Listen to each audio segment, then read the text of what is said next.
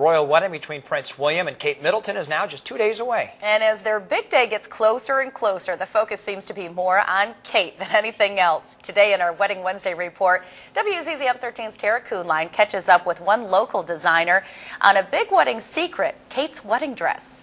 Lauren and Derek, good morning. Ever since Prince William and Kate Middleton announced their plans to marry, nearly everyone is buzzing about what Kate will wear on her big day. I recently caught up with local designer Pamella DeVos, owner and creator of Pamella Roland Designs. She shared with me her thoughts on what Kate should wear on the royal runway.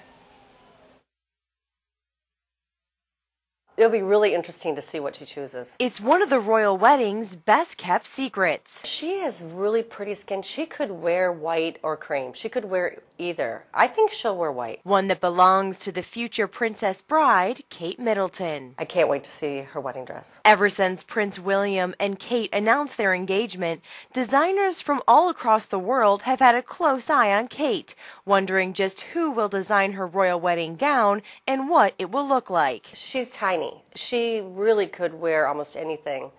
Um, but I do think the design that we came up with would look great on her. One of those designers is Pamella DeVos, creator of Pamella Roland Designs. She has dressed A-list celebrities like Angelina Jolie and Jennifer Lopez. It's interesting because I was asked by USA Today. Um, I had two hours to de- decide what I would, how I would dress her because they're going to go to print on this, and I said, two hours to design something for you know princess.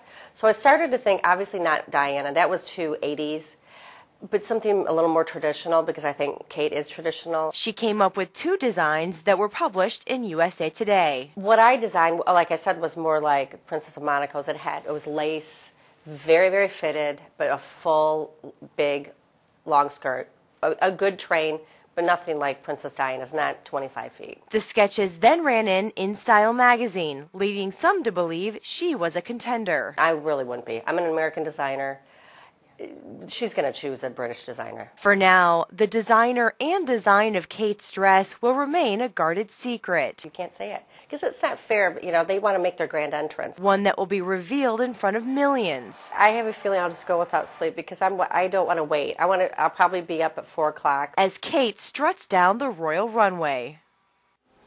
Well, the royal wedding is this Friday at 11 a.m. in London. That's 6 a.m. our time. Friday, ABC will start their wedding coverage at 4 a.m. So you can watch the royal wedding right here on WZZM 13 starting early at 4 a.m. Friday morning. But of course, yeah. if you'd rather get your local news Friday, we indeed will be here. You can go to 13-2 for the morning news. That's Comcast 298 or Charter Digital 247. Yeah, yeah.